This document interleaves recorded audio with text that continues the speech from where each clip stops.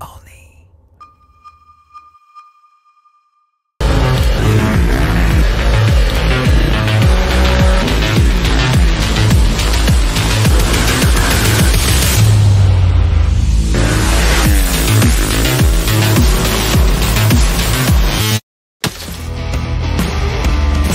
Si. Ah bon Non, je suis pas d'accord. C'est faux. Toujours plus. Non, Mais d'accord. Mais si. N'importe quoi. Eh, doucement, les gars. hein. Salut à tous, bienvenue aujourd'hui sur euh, Motor Live dans notre studio en compagnie de Théo. Salut Christophe. Ouais. Euh, nous faisons tout simplement aujourd'hui l'un des comparatifs majeurs de 2024, peut-être le plus important des comparatifs, on est fin 2023, Tout à fait. puisqu'il s'agit du comparatif autour de la nouvelle R1300 GS, Théo. Exactement. En fait, cette 1300 GS, elle a changé par rapport au modèle 1250. Elle a été revue de fond en comble. Enfin, moteur, partie cycle, ergonomie. Il y a énormément de choses qui ont changé. Et donc, du coup, ce qu'on a fait, Christophe, c'est qu'on s'est greffé au comparatif de Moto Journal Absolument. avec Mathieu Kérol. Et on a opposé cette nouvelle GS à, euh, à quatre autres motos pour un comparatif à 5 motos. Alors à noter, Théo, un truc important, c'est qu'il n'y a pas de japonaise dans ce comparatif. Et non, on n'est que sur euh, l'Europe et euh, les États-Unis. Pourquoi, Euh, du coup? Parce que c'est étonnant. Eh ben oui, alors il n'y a plus de japonaise en fait. Les, les japonais ont délaissé ce créneau. La dernière Yamaha, c'était la Yamaha XT 1200Z Super Ténéré, qui a été un demi-flop commercial. Ils ont mis du temps à écouler tous les, modèles produits jusqu'à euh, fournir par exemple la Bravem, cette force de police euh, un peu polémique. Et puis euh, il y a eu la Honda Cross Tourer VFR 1200X Cross Tourer, donc un V4, une VFR 1200 transformée en gros trail, une moto très haute, très longue, très large, très lourde qui était assez difficile, même impossible à conduire en tout chemin, avec un DCT, une moto atypique. On adorait cette moto avec Mehdi, mais elle n'a pas du tout non plus rencontré son public. Dommage.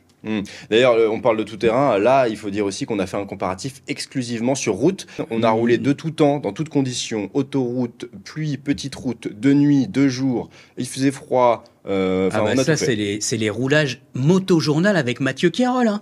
On fait des bornes, on croit qu'on arrive à l'hôtel. Non, il en rajoute 300 sous la, sous la pluie et part sur les petites routes. Merci Mathieu Kérol, je m'en souviendrai. Non, c'était super. Minimum 2000 km, je vous le dis. Plus de 23 heures de moto cumulées euh, sur 4 jours. 84 km heure de vitesse moyenne en comptant les parcours sur autoroute où évidemment on roule plus vite. hein, Mhm. Voilà. Les allures GPS choisies. Euh, mais sinon, on est parfois sur des petites routes où il y a les épingles qui passent à 30 à l'heure. Là, je peux vous dire qu'on a charbonné. Exactement. Et puis, n'oubliez pas de retrouver euh, le comparatif Moto Journal. Hyper complet, 28 pages au moins sur ce comparatif exhaustif, il y a tout dedans. Sans plus tarder, on part sur l'esthétique et les finitions, Christophe.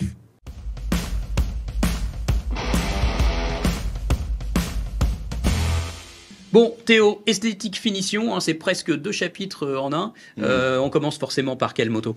Bon, on va commencer par la GS, du Ouais, coup, puisqu'on l'oppose à chaque fois dans chaque catégorie aux autres. Alors, la GS, euh, on peut dire quand même que là, dans le coloris en plus qui nous est présenté aujourd'hui et qu'on a essayé, le coloris euh, vert comme ça, un peu un vert anglais, Ouais, on, ça aurait peut-être été bien sur la triomphe. oui, ça aurait mais- été très bien sur la trilogie. voilà, non, il faut dire que la GS, déjà, elle change vraiment de look. hein. On perd ce côté asymétrique avec le phare asymétrique. On arrive maintenant sur un phare qui est dit matriciel. Alors bon, c'est un phare en X qui est censé, euh, bon, déjà euh, permettre d'avoir le radar aussi à l'avant, Mhm. Euh, qui, qui change complètement la face avant, et puis qui est censé aussi bien éclairer en virage, avoir un faisceau qui est euh, a priori d'après BMW Mhm. meilleur. On en Mhm. reparlera. On en a vu rouler sur la route, on a croisé cette nouvelle GS aussi. On Mm. peut pas la confondre en fait. Ce qu'on voit, c'est que ils ont réussi à réinventer le design quand même, l'équipe d'Ed- d'Edgar Heinrich là en Allemagne. Mhm. Donc moi j'aimais bien la symétrie. Il y a plus d'asymétrie. Bon, par contre, ils ont un look quand même euh, atypique et je pense de toute façon, on va pas trop se poser de questions à mon avis. Ils vont réussir à en vendre encore par wagon. Côté finition, là aussi, euh, c'est- quand même super propre, c'est BMW. Ouais. Bon, évidemment, il y a de l'option, donc euh, ça ajoute des petites pointes à droite à gauche de, de métal, de, de- de petites choses jolies. Euh, mais franchement, là aussi, rien à dire de particulier sur la GS. Maintenant, les autres, comment elles se comportent? Est-ce Oui. qu'elles font mieux? Est-ce qu'elles font moins bien? Oui. On en parle tout de suite. Alors Ducati, moi je pense que c'est euh, bon, on peut aimer ou pas aimer cette moto. Elle est très grosse, elle est devenue très volumineuse. Euh, la Ducati Multistrada V4, euh, elle est beaucoup plus volumineuse que euh, l'ex V2. Mm. Elle est peut-être moins fine, ça fait des pièces un peu imbriquées comme ça, un gros réservoir, un gros carénage. Bon voilà. On voit Euh, moins le moteur On aussi. voit moins le moteur qui est noble, c'est un V4, et puis bah du coup on le voit pas. Ils ont mis des petits caches partout, c'est un peu dommage. Euh, le réservoir euh, ou les peintures, bah, on n'est pas tout à fait sûr que ça vieillisse euh, très bien dans le temps. Moi, j'en ai déjà vu des V4 garés sur le trottoir qui n'étaient pas, qui étaient pas toujours exemptes de, des- voilà, de, de petits problèmes au niveau de la finition dans le temps. On va voir. Elle est, elle est belle, mais peut-être qu'elle est moins belle que celle d'avant. Enfin, c'est aussi que mon avis. Vous vous exprimerez là-dessus. hein, Bien sûr, Cher dites-nous en commentaire ce que vous en pensez. La KTM, par contre, là, euh, tous les deux, on, bah, on reconnaît que c'est une KTM. Ah bah, c'est une KTM, hein, orange, C'est orange. Voilà. C'est inloupable. Ouais. Euh, et, Et puis, puis, c'est. taillé à la serpe. euh, C'est ouais, ouais. Bon, alors c'est aussi une grosse moto. Faut aimer hein, ce cette espèce d'imposant carénage qui descend très bas, Mhm. qui va tout recouvrir. Et puis cette face aussi assez plate avec des, phares justement, donc un peu en mandibule. Ouais. Bon, c'est aussi assez particulier. Bon, voilà. Moi, c'est moins ma tasse de thé, mais on peut reconnaître quand même qu'elle Ouais, il est hein, reconnaissable. Il y a des fans. hein. Ouais, il y a des fans. Ouais, Hugo, Hugo, qui est en régie et qui a filmé ses motos, c'est grâce à lui qu'on a ces belles images. Euh, lui, il était indéboulonnable, il voulait vraiment euh, la KTM. Bon, chacun son goût. voilà. Et puis la Harley, la Harley, ce qu'on peut dire déjà, c'est qu'ils ont réussi à la Davidson à faire un objet qui est aussi très reconnaissable. On peut pas euh, confondre cette Harley avec, euh, avec une GS ou avec un autre gros trail. Parfois, à certains endroits, on a eu des petits, des petites déconvenues. Ouais, euh, l'intérieur du carénage, euh, ils ont mis tout un système avec euh, des crash bars et, des écopes latérales. Euh, c'est vrai que derrière ça, il y a des câbles, il y a des durites. C'est pas quand même. Enfin, la Harley Davidson, c'est peut-être la moins bonne définition. Dommage parce qu'il y a un vrai look. La Harley ne ressemble pas à une GS. Ils ont fait un phare avant qui rappelle la Road Glide, qui est, singulier. Ils ont fait des efforts, bah, ça marche pas jusqu'au bout. On a oublié la Triumph. Alors la Triumph a un look qui est peut-être plus commun, qu'on a Ouais. un peu plus déjà vu. Ouais, Mais qui pour autant, euh, enfin, en termes de finition, fonctionne, Ouais, bien sûr. bien et sûr. puis en termes de finition, euh, Ah bah là. précis et Ah bah là, ajusté. euh, Ah bah là, Triomphe, il n'y a rien à dire. Tu as beau détailler tout, chercher les petits, les petits colliers euh, disgracieux, il n'y en a pas, il n'y a pas de collier disgracieux, tout est hyper bien caché, Mm. euh, tout est hyper bien logé derrière le tableau de bord. Euh, bon, voilà, sous la selle, il n'y a rien à dire non plus. Enfin, c'est c'est vraiment bien fini, la Triomphe, hein, franchement. Donc ce qu'on peut dire, ce serait peut-être même la Triumph qui Exactement. gagnerait cette catégorie, mais en tout cas, c'est pas la BM qui la gagne. Non, c'est euh, premier, premier match. Mm. Finalement, ça n'est pas la, la- la BM, en effet. Il est remporté éventuellement par une autre. On va donc pouvoir passer euh, au deuxième, euh, à la deuxième catégorie qui concerne euh, la vie à bord et l'ergonomie.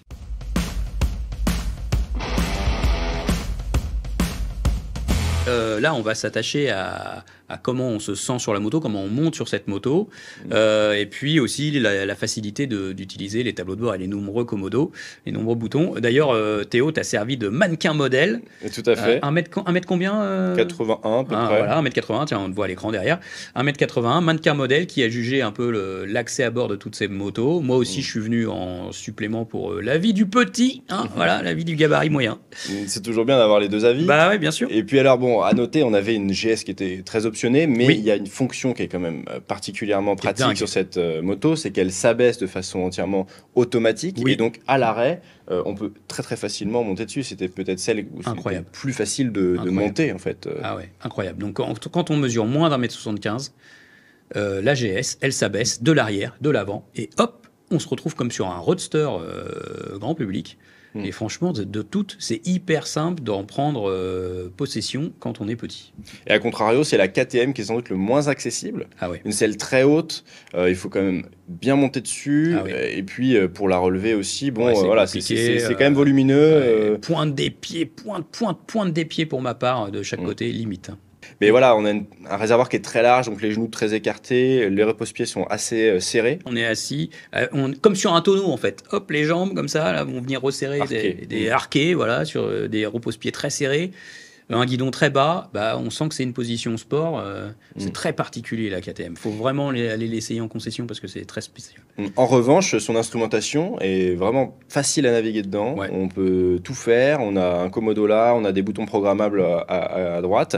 Moi, j'ai trouvé que c'était quand même l'une des plus réussies. Ah ouais. Euh, bon, celle de la GS, il faut dire qu'elle est aussi, euh, on peut naviguer dedans facilement, etc. Mais il y a plus de menus, de sous-menus, plus de méandres Oui. euh, dans l'instrumentation de la GS. Donc peut-être celle de la KTM, c'est celle qui est le- la, la plus pratique. Ah ouais, la plus pratique. Dès que tu veux remettre un trip à zéro, rechercher ta température, n'importe quoi de ambiante ou quoi, avec la KTM, tu vas facilement. Chez Ducati, c'est pas mal. C'est pas mal non plus, ouais, intuitif aussi. euh, Alors on peut pas aller dans les menus euh, en roulant, menu de configuration pour euh, changer certains réglages. C'est peut-être pour ça que ce serait euh, peut-être pas la top. Bah, c'est pas la première. top. Non, non. Par contre, ce qu'on peut dire, ce qu'on peut remarquer, au quotidien, tu disais, on connaît son instrumentation et sa moto. Sur la Triumph, il y a quand même il y a des choses irritantes. ah il y ouais, a des choses irritantes. L'instrumentation est lente. Ah ouais, la navigation avec les sous-menus. Encore une fois, on, galère un petit peu à, Ah à se faire la main. Après trois jours, tu recherches encore des choses. Ah oui, c'est Ouais. où sur la Triomphe Là, faut chercher. Hmm, C'est pas tout bon. à fait intuitif. Non. euh, Il faut qu'ils bossent là-dessus. hein, ça va Mm. pas. Harley, moi j'ai trouvé que c'était quand même euh, assez complet. Euh, Mhm. On a plusieurs modes de conduite. euh, voilà, la navigation, elle est peut-être moins moderne euh, Oui. que sur euh, d'autres machines, notamment la BM ou la KTM. Mais il y a quand même beaucoup de modes de conduite, des, des modes de conduite personnalisables. Euh, je trouve qu'on a quand même beaucoup de fonctions. Euh, donc c'est bien. La Harley qui est aussi à l'initiative de l'abaissement de la moto. hein. Exact. Attention, il faut lui rendre, faut rendre à Harley ce qui appartient à Harley. Mm. C'est eux qui ont mis ça en premier. Exact. Donc euh, il y a une selle de position, plus Oui. en plus la possibilité de d'assises électriques euh, réglables électriquement. Par contre, ça se ressent plus. C'est-à-dire que si on s'arrête un peu vite à un feu rouge, mais on peut la sentir un peu s'abaisser au dernier moment. Là Oui. où sur la GS, euh, c'est plus transparent. Ah ouais, ils sont arrivés après, mais ils sont arrivés avec quelque chose qui est plus fluide. C'est à croire que BMW, ils sont en moto GP avec les motos qui s'abaissent et tout. Bah non, ils y sont pas. Mais ils se sont bien débrouillés de ça. Euh, Ouais. BMW, c'est hyper fluide. Voilà, c'est très bien fait. Sur la Triumph, faut appuyer sur un bouton. Pour revenir juste sur sur Oui. l'ergonomie, au niveau de la position, toi, sur la Harley, comment tu te sens euh, Certains se plaignaient sur le comparatif, on, il y avait des rouleurs avec nous, Ouais. hein, qu'on était un petit peu avec les jambes trop repliées. Ah ouais, moi ça c'est celle qui m'a fait le plus de pas de crampes, mais disons que on avait les jambes plus repliées sur la Harley que sur les autres. Euh, les autres c'est plutôt globalement euh, très bien. Euh, la position de la Triomphe elle est consensuelle, ça va. Euh, là Ducati, elle a le guidon hyper large. Ouais. Zéro interfile avec la Ducati, non Zéro interfile, Ah c'est ouais. pas du tout une moto pour faire ça. Guidon hyper large, les rétroviseurs hyper larges. C'est, bon, bah voilà, c'est très particulier. Mais, mais après, on est bien dessus. Ah oui. Et puis, ça nous fait du bras de levier. On Ouais. en parlera sur la partie dynamique. Ça, c'est plutôt une bonne chose. Ouais. Donc, en somme, pour cette vie à bord et ergonomie, Ouais. euh, c'est quand même la BMW qui va gagner hein, pour nous. Ouais. euh, parce que franchement, avec ce système, alors qui est une option hein, à rappeler, mais système d'abaissement, Ouais. est quand même super fluide. Imparable, super. Euh, Tout est automatisé quelque part. On n'a pas besoin de penser, ah oui, il faut que je la mette en mode abaissement, comme sur d'autres modèles. Elle fait tout toute seule. ouais. Et puis, elle On- le fait bien. Elle le fait très bien. On passe tout de suite à moteur et transmission, la grosse partie de ce comparatif.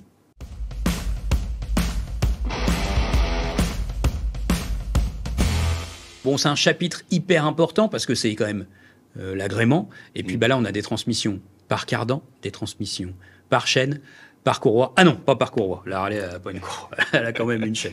Mais là, euh, Théo, euh, c'est quand même euh, cœur, cœur du comparatif. hein. Cœur du comparatif. Et puis, euh, il faut rappeler que ce qu'on cherche là, ce qu'on va, ce que ça a été sujet à débat pendant notre comparatif, au repas, etc.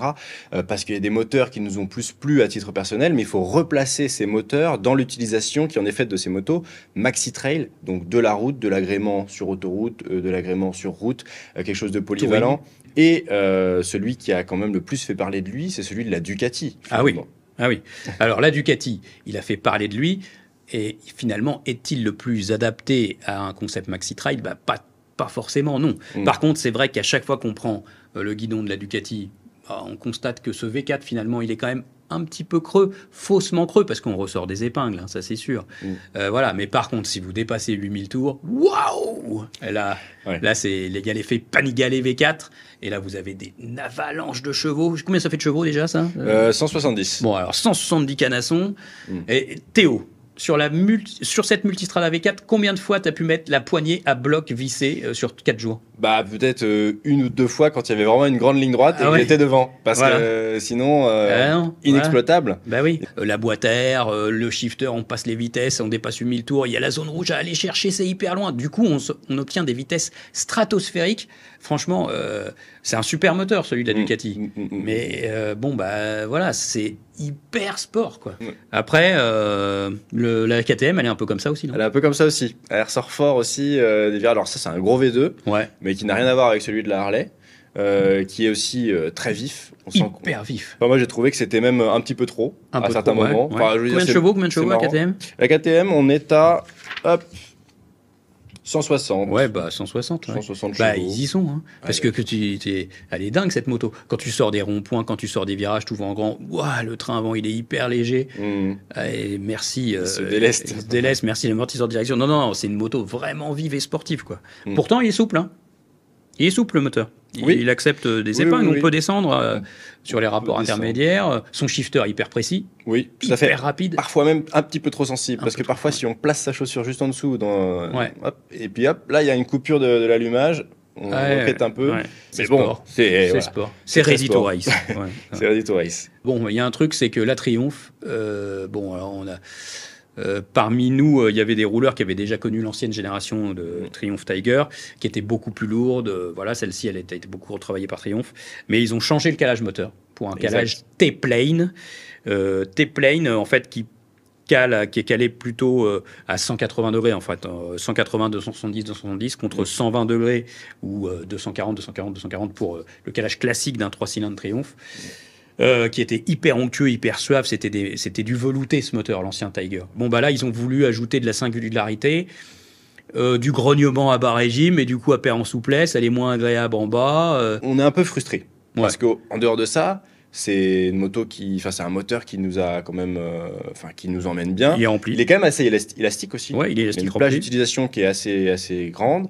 Par contre, comme tu dis, c'est même pas forcément qu'il est pas très souple, c'est juste qu'il est moins agréable. On, on se sent moins bien quand il est à trop bas régime. Ouais. Ça reprend, mais Ouais. voilà.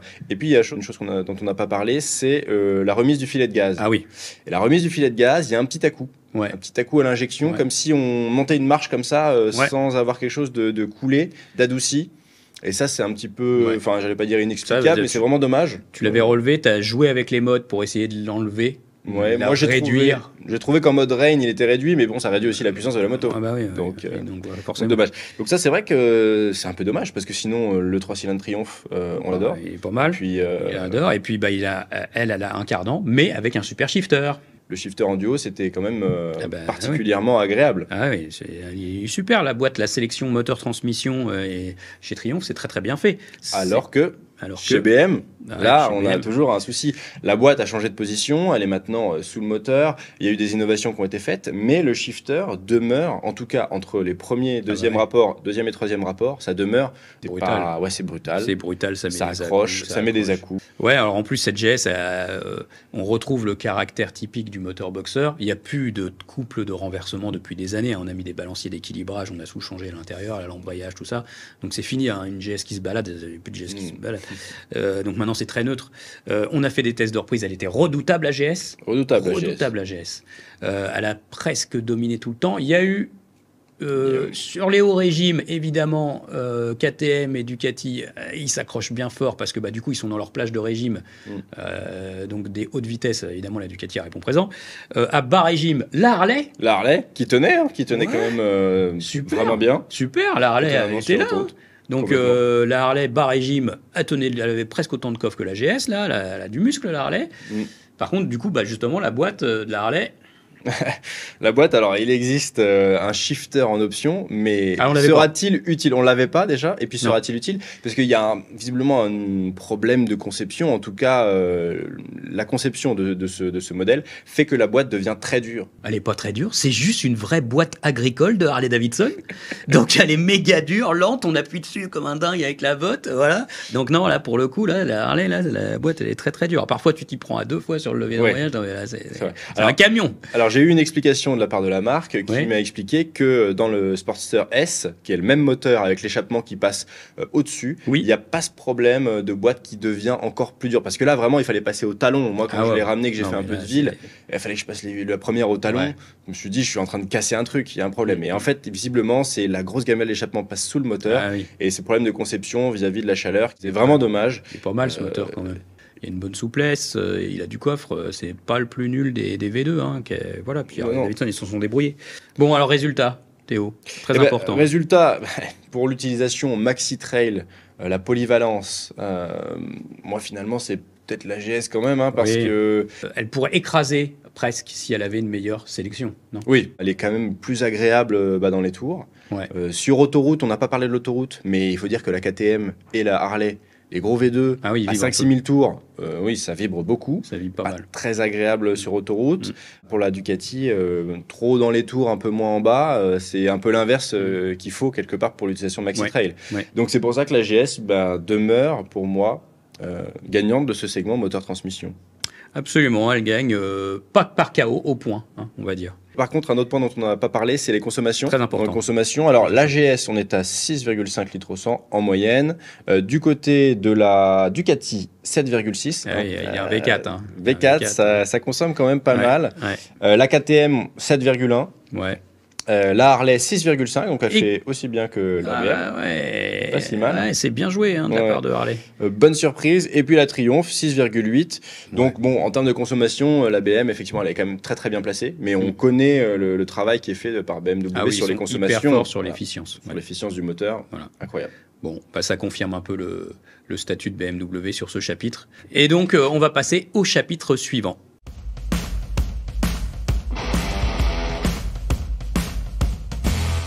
Le chapitre suivant concerne la partie cycle. hein. donc, on va parler évidemment de tenue de route, de freinage, de tenue de cap, euh, de comportement d'amortissement.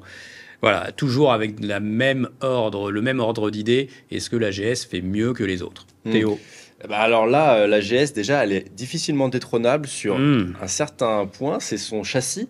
Avec euh, paralever, télélever. Euh, Et le télélever, moteur euh, flat twin qui Oui, abaisse le centre de gravité, qui centralise les masses. Et c'est voilà. Exactement. Mais euh, du coup, ce, ce télélever qui a été en plus revu, Oui, donc ça lui confère quand même euh, une agilité assez incroyable. incroyable. Très très facile en fait euh, à, balader d'un côté de l'autre. Ah ouais, mais là c'était fou.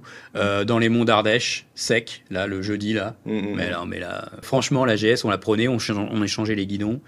Et à chaque fois que tu prends la GS, tu fais quatre virages et tu dis non mais là c'est la plus précise, la plus celle qui déclenche le mieux le virage, qui re- revient à la corde le plus facilement. mm. Ah, Euh, je suis pas tout à fait d'accord Ah avec toi. vas-y, vas-y, vas-y. Ouais, pour, euh, pour revenir à la corde, j'ai trouvé que la GS, on pouvait la mettre sur l'angle très facilement, parce que comme on a cette euh, suspension qui est dissociée de la Ouais. direction, très facile, le bras de levier sur le guidon, Ouais, c'est super. super léger. Mais par contre, euh, quand on doit refermer euh, très rapidement, moi je trouve que la Ducati, par exemple, elle rentre Ah oui. mieux à la corde. Ouais. Elle, est, elle tourne plus court quelque part. Oui. Euh, voilà, c'est Ouais. un peu le sentiment qu'elle m'a donné. C'est vrai que le, le comportement Ducati, euh, par exemple, typiquement, euh, on arrive dans des courbes, on freine un petit peu fort, on l'accompagne au frein, on ressort euh, en relâchant les freins. Euh, bah là, ça marche très très bien. C'est une partie cycle très sportive et ça fonctionne. Euh, D'ailleurs, la Multistrada, elle a d'autres qualités puisque euh, elle a quand même beaucoup de précision de partie cycle dans le placement. Et puis, si on joue avec les modes de suspension, la moto change beaucoup, donc elle se durcit. Euh, on va plus avoir ces gros transferts de charge, donc ça va plus être du tout un cheval à bascule si on la met en mode sport. Euh, et à l'inverse, en mode confort, bah, elle devient vraiment plus souple, euh, voilà. Et donc euh, c'est quand même une sacrée partie cycle la Multistrada V4. Oui, oui, ça on est bien d'accord. Et quelque part, donc elle fait mieux sur quelques petits points Oui. euh, que la GS. Oui. Euh, mais la KTM aussi, on parle de sport. Ouais. KTM, c'est sport aussi. Ouais. Euh, là, c'est très sport. Effectivement, ça ressort des virages, euh, même en mode euh, road avec toutes les assistances, euh, ça se lève assez facilement. Ah oui. Euh, et puis pareil, c'est très vif. On est très sur l'avant aussi, Ouais. plus sur l'avant que les autres. Donc, euh, Ah ouais, la KTM, c'est euh, ouais, c'est très vif, euh, c'est très super mote en fait. très super mode. très super mote. Donc euh, on joue avec la KTM et elle donne envie de jouer. On a envie de, de la bousculer en châssis quoi. Et elle a du répondant bien sûr. Il y a un mode euh, super mode là, je sais pas quoi, où on peut des, on enlève l'ABS à l'arrière pour essayer de faire glisser le pneu. Bon pour ceux qui savent. Mm. Voilà, mais non, c'est c'est vraiment euh, c'est un jouet hein, la KTM. Donc là on le retrouve. Après c'est quand même ferme. Euh, ça prend des chocs, euh, c'est ferme de partout, la selle, le châssis, voilà, c'est Mhm. ferme, voilà. Bon. Après il y a euh, la Harley, elle a étonné plein de monde la Harley. Effectivement, elle est plutôt saine. Ah, Tu disais toi-même ouais. euh, sur le comparatif. Effectivement, on se sent quand même en confiance Ah ouais avec cette moto. Euh, on a du poids sur l'avant, mais du coup, ça lui confère une stabilité. très stable en Très virage. En virage très stable. Elle est posée la Harley. Alors on la place un petit peu des épaules. Comme ça. Mm. Par contre après elle est posée. Elle est, c'est- il y a une- on a une bonne lecture du pneu avant du pneu arrière. Mm. Franchement il peut pas vous arriver grand chose sur l'angle. Euh, non de ce côté-là pareil. La tenue de cap à haute vitesse. Moi ça bronche pas euh, la Panamérica. Un petit peu plus sur, sur route très mouillée, sur les autoroutes un peu Ouais. détrempées. C'est vrai que c'était celle avec laquelle on était un peu plus sur des œufs, enfin, Ouais, en mi- ressenti. C'était peut-être les pneus Michelin Anaki là, bon euh, qui Mm. sont très sculptés. C'était peut-être pas le top. Oui, ça, on on n'a pas su dire parce qu'on n'a pas pu tester avec Non. différentes montres. Voilà. Voilà. Après euh, Triomphe. Triomphe. Alors là, poids plus en haut. Oui. Euh, du coup, euh, Toujours ce centre de gravité hyper haut chez Triomphe, ils n'y arrivent pas, Ouais. c'est comme ça. Et puis, euh, puis moi j'ai trouvé qu'elle basculait beaucoup, c'était Ouais. pas très réglable au niveau de la fourche, on plongeait. Ouais. Euh, et moi c'est celle qui m'a donné un petit peu le moins confiance. À un moment on a échangé, on était sur le mouillé pour faire des photos, des vidéos, Oui. on devait rouler un petit peu serré, etc. Bon moi j'ai pris la Triomphe, j'étais un petit peu sur des. Sur, sur la retenue, ouais. Sur la- Moi, j'ai remarqué la Triomphe euh, quand on a fait le- la partie sud euh, avec euh, la route des crêtes, voilà, ou l'Espigoulier, hein, qui est bien connu des motards du sud. Mm. Euh, Quand on passait d'une d'une multistrada, une KTM à la Triomphe, oh là, il fallait quelques virages pour appréhender le centre de gravité, le fait que la moto bascule de très haut, euh, elle a du mouvement, on freine, on sent qu'il y a du poids qui pousse là derrière. Mm. Donc, quand on veut jouer, bon, c'est pas la Triomphe qu'il faut prendre, voilà. Après, elle est saine, voilà, Oui. et elle est plutôt un plutôt intuitive, Oui, de elle est comportement. intuitive Ouais. et puis euh, non, elle, elle, elle fait pas de fausses, de faux pas. Non, elle fait pas Pas de faux faux pas. pas. Voilà. Bon. Alors finalement, gagnante. Bon, Bah, bien sûr, là, euh, c'est imparable. Euh, la GS ne peut que gagner euh, avec sa partie cycle singulière Exactement. qui marche depuis des années et qui n'arrête pas de peaufiner, de surpeaufiner, surpeaufiner chez BMW. Donc là, il n'y a rien à faire, hein, ça, Mm. ça- ça gagne. hein. Elle filtre tout, elle est roadster, elle est, voilà, Mm. elle est confortable, elle est précise. Bon, Ouais, malheureusement c'est, enfin malheureusement, pour la concurrence. C'est-à-dire que pour la concurrence, oui, oui c'est elle qui reste euh, bah, singulière. On a vu des systèmes hein, de suspension de, euh, qui, div- qui, sont séparés de la direction euh, sur la Goldwing, par exemple, ou chez des constructeurs euh, plus exclusifs comme Bimota. Oui, Mais voilà, là pour l'instant, c'est la seule sur le marché dans cette catégorie à faire ça. ah oui, Et force est de constater que pour l'utilisation Maxi Trail, eh ben, c'est quand même super pertinent. ça marche. Ah, BM gagnante. Ouais. Bon, allez, on enchaîne avec la protection.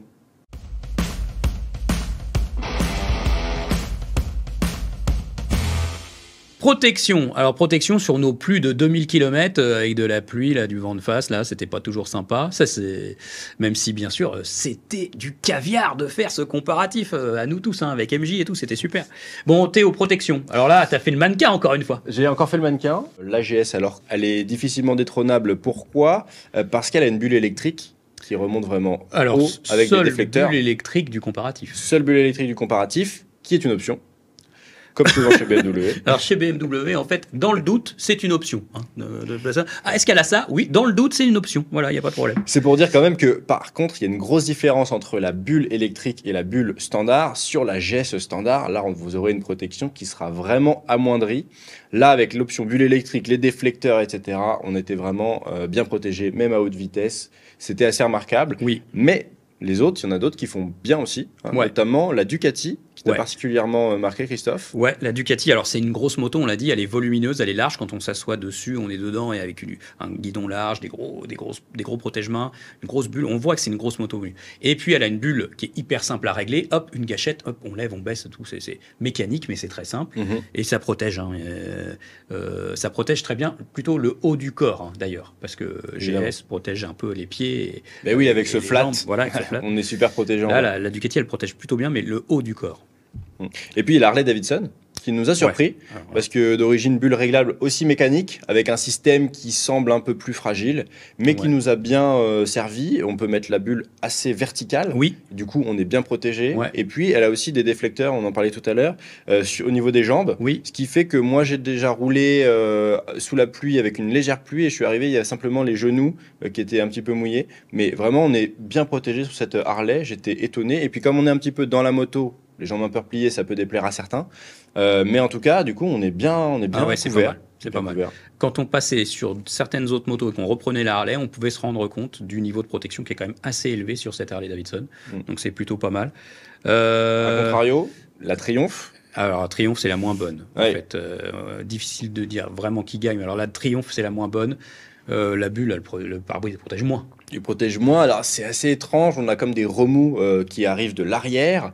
Euh, on a l'impression que. Enfin, moi, j'ai trouvé ça un peu, un peu Non, faible. puis euh, sur autoroute, notamment. Ouais, sur autoroute, non. Même de- si- Non, c'est la, la moins bonne protection, c'est la Triumph. Mm. Et puis un peu au-dessus, il y a la KTM. Mais La KTM, mais c'est vrai que moi, sur les trajets autoroutiers, j'ai été pas mal chahuté au niveau du casque aussi. ouais, bien que la, la bulle soit réglable, on peut le faire en roulant facilement. ouais. C'est plutôt bien.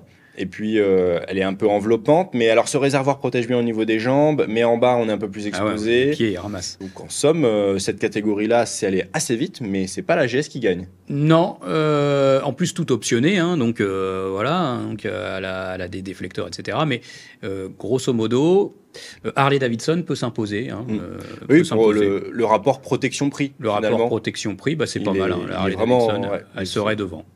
Complètement. En effet. Donc on va passer à un autre chapitre assez important pour ce type de moto dans le registre touring, le duo.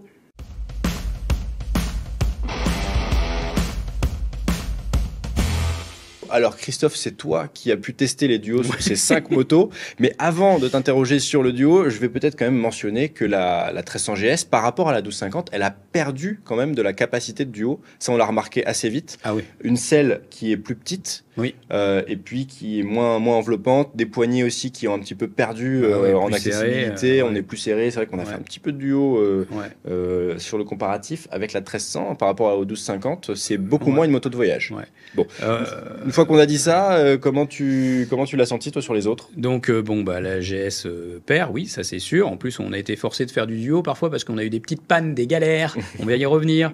Donc du coup le, du- le duo a été amené comme ça. Euh, donc ce qu'il faut dire c'est que euh, s- la, Davidson Pan America a encore une fois plutôt bien surpris. Elle était pas si mal. Le siège est un peu trop euh, pas assez long, donc du coup on est trop proche du pilote. En revanche, pour monter dessus, c'est pas encore trop une galère. En plus, la moto s'abaisse. Mm. Euh, les jambes sont assez détendues. Il y a des poignées et des supports valises, donc on peut s'a- s'agripper assez facilement. C'est pas si mal. Il y a des vibrations par contre, mais euh, euh, non, c'est pas si mal la Pan America. Euh, dans le même ordre d'idée, la Ducati, elle est pas mal. Ouais. La selle, elle est un peu haute, faut aller grimper derrière. En plus, quand, quand il y aura les valises, ça c'est valable pour tous ces gros trails, quand il y aura les valises, il faudra contourner les valises. Bon, voilà, mais les poignets euh, qui sont un peu trop serrés sur la Ducati, si on a des gants d'hiver, ça va être un peu étroit. Sinon, la selle, elle est assez large. Euh, voilà, la selle est moelleuse, comme sur la panne, c'est pas trop mal. Voilà. Et puis la Triumph, t'avais bien apprécié? Alors, Triumph, c'est un confort Pullman. Le gros problème, c'est toujours la hauteur, parce que c'est la moto la plus haute et l'assise du passager est très surélevée, très épaisse. On se retrouve très haut derrière, donc du coup, pour grimper à bord de la Triumph, si on ne la baisse pas euh, avec le petit bouton magique, bon, bah, elle est très haute. Euh, après, on est surélevé, on voit bien devant. Par contre, on a des super poignées, une selle très confortable. Donc, une fois qu'on est monté à bord de la Triumph, c'est très bien, c'est très confortable, très accueillant. Et d'ailleurs, ça rappelle en fait la R1250 GS quand on est derrière la Tiger euh, 1200. Voilà, ce, ce confort-là. Donc elle a un petit peu pris la place euh, Ouais. de la GS sur cet Ouais, aspect. ouais, Et puis la, la KTM, un petit mot rapide, mais en fait, Alors, euh, bah non, ça la va pas du KTM, tout. euh, non, bah, la KTM, en fait, bah, bah, c'est une ready to race. hein. donc, euh, celle très haute passager, en triangle, un peu comme la GS, mais pire. Euh, la Terre sans GS, mais pire. Donc, euh, les meilleures poignées de maintien, par contre, qui sont super bien pour se tenir, bah, il faut ça avec ce moteur qui pétarade et qui vous envoie des super chevaux à chaque ouverture de poignée. Hmm. Heureusement qu'on a des top poignées pour se tenir. Euh, mais euh, du coup, euh, la selle est dure aussi. euh, voilà, donc euh, non, la KTM, là, le week-end en amoureux, c'est très sportif. Bon, alors la GS ne gagne pas le duo. Les autres motos, Harley, Ducati, Triumph font très bien. Voilà. Difficile de dire plutôt Harley, plutôt Ducati. Bon, là, en fait, ce qu'on doit dire, c'est que la GS ne gagne pas. Donc on passe tout de suite à l'éclairage, puisqu'on a testé aussi de nuit, et donc on va vous parler de l'éclairage. Ah ouais, la nuit, avec Mathieu Kérol au fin fond de l'Ardèche sous la pluie. Bravo, bravo, merci Mathieu.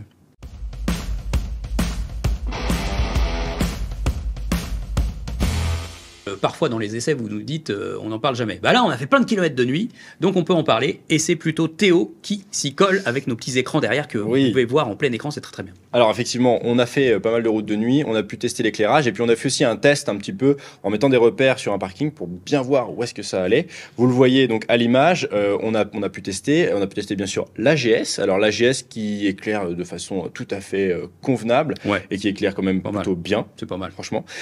Par contre, on a trouvé mieux. On a trouvé Oui. mieux, c'est la KTM. La KTM, on était extrêmement surpris de Ah voir qu'on voyait euh, Ah ouais. presque comme en plein jour. Enfin, Incroyable. c'est-à-dire qu'en plein phare, euh, l'éclairage est tellement lointain, euh, même large. Le faisceau est très large, Il on voit tout. bien sur les Il côtés. y a tout, il y a la largeur, la profondeur, il y a tout la KTM. Ah non, Avec la vraiment, euh, KTM, en forêt, vous taperez pas le sanglier qui va surgir, vous allez le voir de loin, c'est top.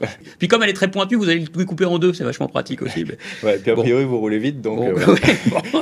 Euh, voilà. Par contre, euh, il y a d'autres euh, motos sur lesquelles on était un petit peu plus euh, déçus. Euh, bon, euh, par exemple, euh, les, les codes de la Harley Davidson. Ouais. Là, euh, on trouvait que le faisceau était pas suffisamment large. on n'a pas réussi à le régler suffisamment comme on voulait. Alors après, ce qui a pu euh, avoir comme incidence aussi, c'est les suspensions électroniques qui font varier l'assiette des motos. Mm. Donc bon, il y a toujours une petite marge de, de- une petite tolérance à avoir. Mais bon, la Harley Davidson, ce qui est bien, c'est les feux de virage, Fonctionne très très bien. efficients. Mais par contre, euh, le, le faisceau de base, et il est peut-être insuffisant dans certaines, Non, euh, dans certaines conditions.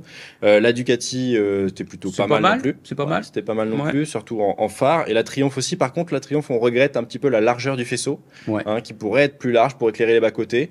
Bon, évidemment, sur ce genre de machine, on pourra toujours adjoindre des phares euh, additionnels, Additionnel. feu de brouillard, euh, feu longue portée pour vraiment le long voyage au long cours. Mais bon, la KTM, on était quand même content de bien y voir parce que c'est quand Ah même oui. un super élément de sécurité euh, hein, quand on fait du road trip. Euh, donc voilà, c'est les gagnants de KTM. Donc euh, la 1300 GS, je sais pas si elle s'est améliorée en termes d'éclairage depuis la 1250. En tout cas, ce Mm. phare, il est pas, il est pas à mettre euh, dernier non plus, euh, loin de là, mais il a- on a trouvé mieux. Oui, Ça, oui, oui. euh, donc la BMW qui est donc la dernière née, qui aurait pu arriver et écraser ce chapitre, Mm. bah non, la KTM existante fait quand même mieux. Voilà. Donc gagnante KTM et donc pas la GS. Et on passe tout de suite au chapitre suivant qui concerne un peu au sens large aspect pratique voyage.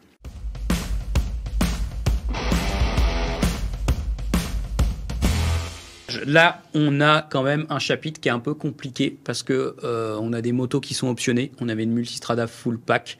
Euh, la GS, là, n'en parlons pas. hein, quand on va revenir sur les prix, là, elle, a été pléthorique.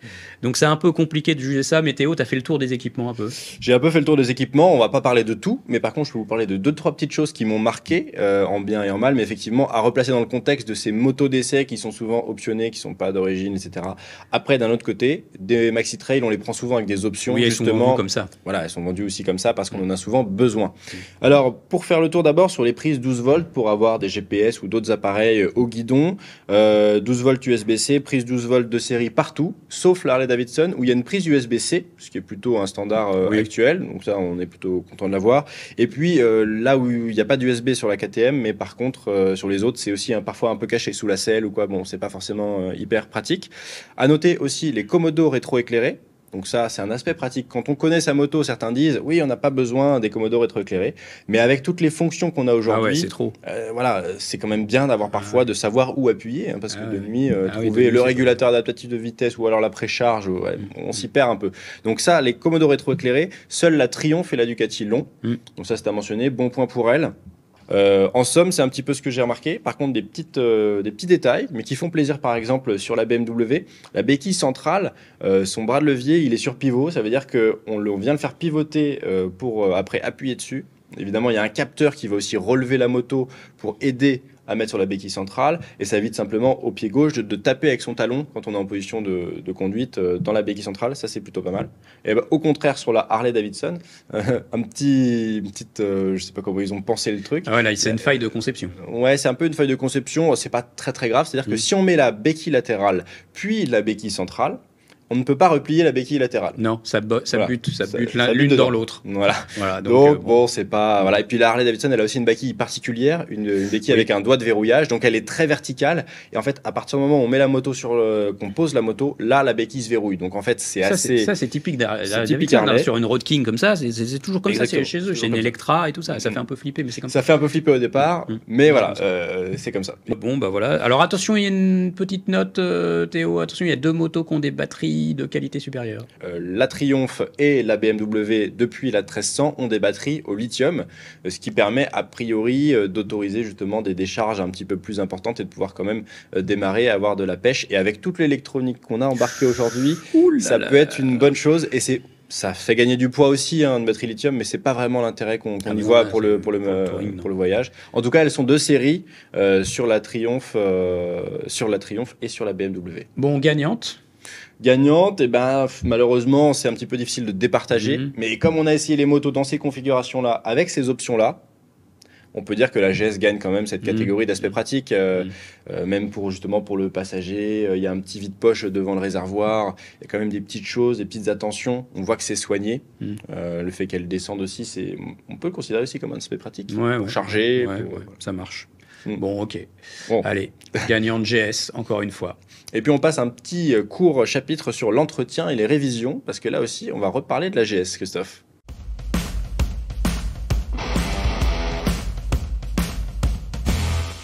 il y a quelque chose qui nous a un petit peu sauté aux yeux, Christophe. Euh, tu l'as repéré dans la documentation BMW. Oui. C'est à propos du cardan. Alors, explique-nous, c'est considéré maintenant comme une pièce d'usure, le cardan? Ouais, alors voilà, en fait, euh, bon, c'est un peu une longue histoire. Je vais essayer de résumer très très court. BM, ils ont vu, après toutes les analyses et les retours clientèle, euh, qu'ils ont eu des problèmes de casse de cardan sur les 1200 et 1250, à répétition. En fait, ils sont partis de ce constat et ils ont dit, bon, bah, on n'y arrive pas, là, voilà. Donc, on va passer le cardan en pièce d'usure.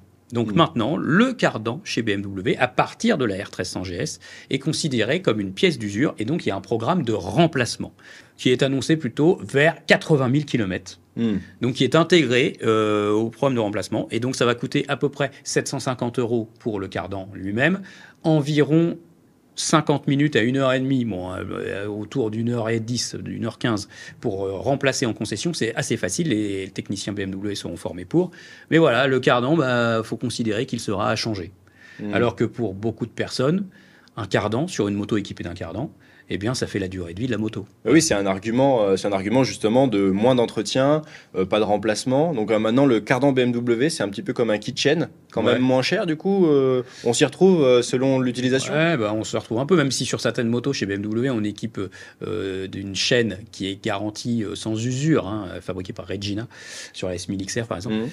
Mais bon, voilà, donc du coup, euh, bah voilà, maintenant le cardan, on, est, on sait qu'on va le jeter un peu, euh, passer un certain kilométrage. Bon, c'est un peu particulier comme démarche, moi je, je trouve ça étrange. Surtout que Triumph, eux, leur cardan, ils ont dit, bah nous, on a fait un cardan, pas monobras, plus gros, plus lourd, d'accord? Bah nous, notre cardan, il est solide, hein. il va durer. Voilà, donc c'est deux philosophies bien à part. Donc en termes d'entretien, etc., pour l'aspect euh, Grand Touring, le cardan, ça a souvent été un choix hein, euh, dans les motos GT, etc. Euh, Aujourd'hui, celle qui est la plus indiquée sur cette partie, c'est peut-être la Triumph, avec Ouais. un cardan qui n'est pas prévu d'être remplacé. Et puis, euh, c'est la seule à avoir un cardan avec la GS. Les Oui. autres sont toutes des motos à chaîne. Alors, toutes des motos à chaîne, hein, donc maintenant les chaînes elles durent, on peut les entretenir. Euh, on a des béquilles centrales, on peut les graisser, donc euh, ça va. Les passages en atelier, maintenant sur ces motos-là, c'est très espacé, 16 000 km chez Triumph. On- souvent, ils, conseillent durant la durée de garantie de, de faire un passage annuel, hein, voilà. Mm. Ça permet En de voir la moto. Oui, les Mais euh, chez Ducati, on a espacé les, les révisions, euh, le- l'intervalle des soupapes. Mais oui, les soupapes, c'est un argument. 60 000 km. 60 000 Tous km. les 60 000 km sur le V4, d'ailleurs, il y a tout un programme là en ce moment qui Oui. va se finir. La GS qui aura fait 60 000 km et ils vont contrôler les multistrada. jeux- La multistrada. Et donc, euh, tous les 60 000 km pour le jeu aux soupapes, euh, révision étendue, tous les 12 000, 24 000, presque rien entre deux. Enfin, voilà, toutes ces motos-là, elles se révisent pas trop souvent, ça va, mais euh, bon, bah, disons que pour ce chapitre entretien et révision, on va dire que euh, cette GS, voilà, euh, avec cette euh, nouvelle façon, euh, cette nouvelle approche autour d'un cardan euh, qui n'est plus euh, conçu pour durer toute la vie de la moto, Maintenant, elle va pas gagner. hein. Voilà, il y a mieux ailleurs et c'est plutôt triomphe. Plutôt triomphe, ouais, je pense aussi. voilà. En tout cas, la GS, là, elle non, ne prend pas le point. Elle ne prendra pas le point. Et donc, on va passer à une autre petite partie un peu surprise.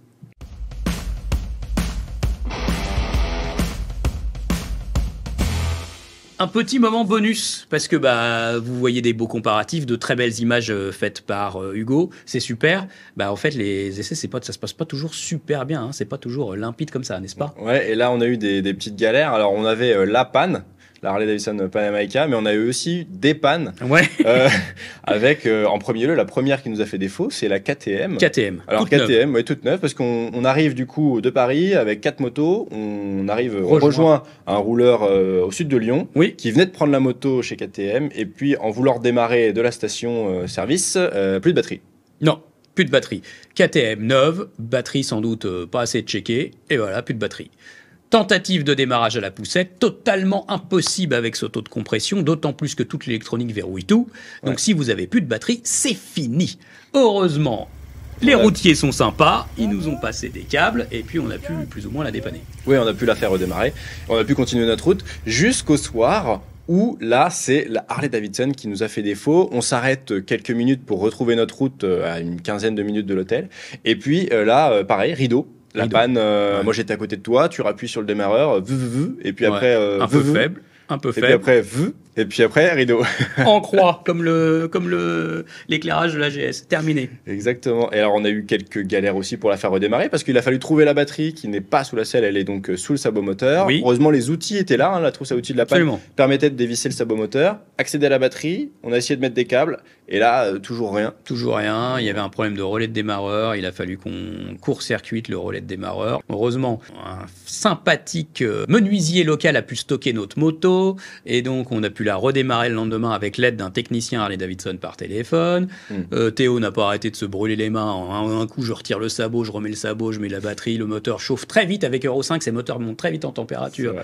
Il se grille les pattes. Voilà. En plus, euh, on a voulu dépa- euh, quand on a dépanné la KTM, c'était aussi avec l'aide de la GS. Oui. Et la GS qui nous a fait un moment. euh, petit elle dit. Ah, j'ai un petit problème et puis après j'ai plus de problème. Ouais. Donc à un moment les, les suspensions, petit Ouais. message d'alerte sur les suspensions Ouais. qui fonctionnaient plus. Après au bout de quelques heures, euh, ça s'est complètement Ouais, il a fallu effacé. éteindre la moto, la laisser se reposer, repartir assez réinitialisé, tout est revenu. Mm. Bon, tout ça pour dire que les deux batteries lithium-ion, hein, euh, BMW et Triumph, ils ont du sens sur ces motos-là. Ouais, sur ces motos-là, pour l'électronique, ça a du sens de, de garder une batterie justement qui peut avoir de la pêche, même à un niveau de décharge plus important. Euh, et puis du coup, ça nous a pas fait défaut. Euh, là où justement les batteries du coup euh, acides, comme Ouais. on a eu des petits soucis, sauf sur la Ducati. On n'a pas eu de souci avec la Non, ça a Ducati. été- Elle a toujours bien démarré. Toujours bien démarré. euh, voilà, pas de Oh, message alerte. quoi les préjugés sur les Ducati. hein. voilà, enfin toujours pour vous dire que voilà, bonus, hein, c'est des motos très complexes. Il y a beaucoup d'électronique. Hein, c'est pas toujours, euh, c'est pas toujours des. parfois, il peut y avoir des petites mauvaises surprises. Bon.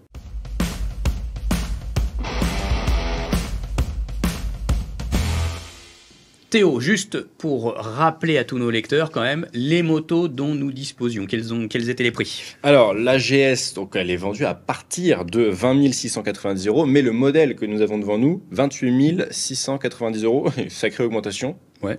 Pas inhabituel chez- 8000 euros d'augmentation. Voilà. Euh, la Triumph Tiger 1200 GT Pro, 21 395 euros. Oui. La Ducati Multistrada à partir de 24 290. Ah. Euh, la V4S, oui. Eh, cher. mais le modèle essayé, nous, c'était 31 Mais non, 179. plus cher que la BMW. Plus cher que la BMW. C'est une Ducati, euh, Christophe, après tout. Ma qualitat euh, Ducati italienne, poltrone et sofa. Bon, d'accord.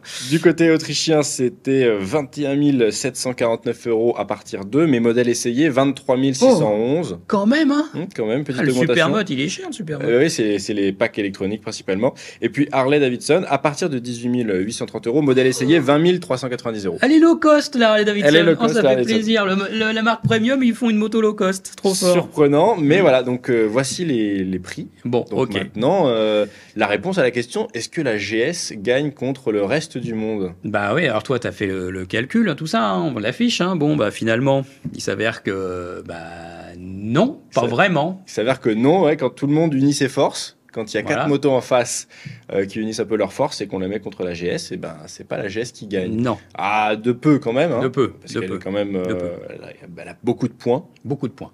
beaucoup de points. Alors, ce qu'il faut dire, c'est que cette GS, certes, très certainement, euh, si on avait fait que des face-à-face, eh ben, en fait, je pense qu'elle aurait gagné à chaque fois. On a bien regardé toutes les qualités et les défauts de chacune. Cette GS, elle est tellement homogène, elle est tellement forte un peu partout, partie cycle très forte, moteur fort, un peu par forte partout, ce qui fait qu'elle aurait tout le temps gagné. Sauf que là, à chaque fois, il y en a toujours forcément une pour venir lui contester un de nos chapitres particuliers. Mm. Donc, c'est un peu dur. Donc, non, elle n'écrase pas la concurrence. Mm. Mais là où elle est forte aussi, c'est sur le prix quand même. Ouais. Même s'il y a plus fort euh, avec Ducati, c'est toujours là aussi, ça c'est un vrai argument de choix. Euh, donc euh, en fonction de ce qui est important pour vous, ce qui est moins important, eh ben, peut-être qu'il y, a- il y a quand même des bons arguments, notamment au niveau de, de, de la Triumph. Bon, la Triumph, 21 395 euros, c'est quand même beaucoup plus contenu Oui. finalement. Une fois qu'on a mis... alors qu'il y a déjà des options, beaucoup d'options de série, Oui. shifter, etc. Oui, très bien équipé. Voilà, et puis bon, la Harley, bon, si vous, là c'est c'est la moins chère du comparatif, même avec toutes les options, etc. Bon, elle a quand même quelques défauts euh, qui peuvent euh, évidemment retenir, mais euh, ça reste quand même un, un- Elle nous a étonné la Harley sur plein de points. oui, c'est vrai. Après, voilà, il y a ces petits défauts de- d'esthétique, enfin parfois de, de finition. Ce qui, ce qui nous laisse à dire en fait que, bon, on le sait, hein, euh, sur cette catégorie, la BMW GS, maintenant R1300 GS, c'est un rouleau compresseur. On va en voir partout. L'été prochain, vous irez en vacances, vous allez voir partout des R1300 GS. Voilà. Euh, Quand on additionne les ventes de GS et de GSA, hein, on ne l'a pas encore, euh, eh bien, euh, elle est souvent en tête des ventes au sein de notre marché. Mais toutes ces autres motos, elles sont quand même pétries de qualité. Donc, si demain vous vous dites, bah, je veux une R1300 GS, vous avez peut-être envie d'hésiter face à une ou deux autres de ces motos-là, bah, allez les essayer. Vraiment, hein. c'est tellement différent, il y a tellement de caractères différents, de comportements, d'accueil à bord. Euh, voilà, Euh, il y a la GS, mais il y a le reste du monde. Le reste du monde, il mérite d'être essayé. Oui, complètement. Et puis en plus, il pourrait peut-être vous convenir mieux aussi. C'est une question de sensibilité. Euh, D'ailleurs, euh, avec laquelle tu repars, toi, Christophe? Alors, euh, en fait, euh, pff, bah, moi, je repars avec une Honda Transalp. Voilà, 750, la nouvelle. Et avec euh, le reste de la somme, je m'achète une super belle Enduro toute neuve. Voilà, parce que pour le prix de, de cette moto-là, on peut facile se faire deux motos hein, dans le garage. hein. C'est top. hein. Ouais, c'est vrai, c'est vrai. Moi, je, serais bien reparti avec euh, la GSA. Ah, la GSA. Mais la GSA, elle est, elle est pas là, la GSA. Et on l'attend Ouais. pour, euh, on l'attend pour quand d'ailleurs? Alors la GSA, en fait, on a des petites infos. Elle va arriver euh, avant 2025, donc elle sera révélée courant 2024, même pour la rentrée euh, de, ce, de ce mois de septembre 2024, l'année prochaine. Vous allez pouvoir certainement euh, découvrir et même peut-être chevaucher la GSA. Et on sait qu'elle sera très différente de celle-ci et qu'elle va s'orienter vers le touring. BMW nous l'a confié.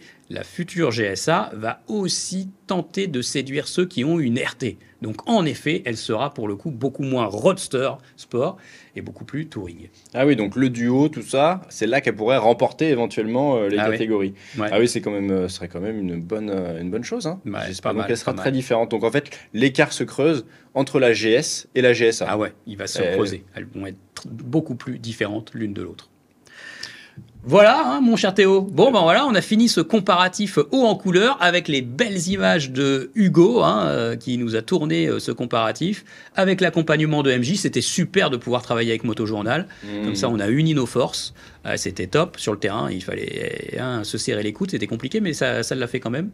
Mhm. Et puis bah voilà. hein. Et puis bah euh, libre à vous de choisir le gros trail qui vous convient le mieux. Ouais, si vous voulez en savoir plus, n'oubliez pas de retrouver Motojournal en kiosque. Et puis sinon, dites-nous en commentaire aussi ce que vous en avez pensé. Si vous avez encore des questions sur les motos, nous, on a quand même bien roulé avec, on peut vous répondre. On sera très attentif à ça. Et puis on vous dit à la prochaine pour un prochain comparatif ou un prochain essai. Ouais, super. À la prochaine. Ciao. Ciao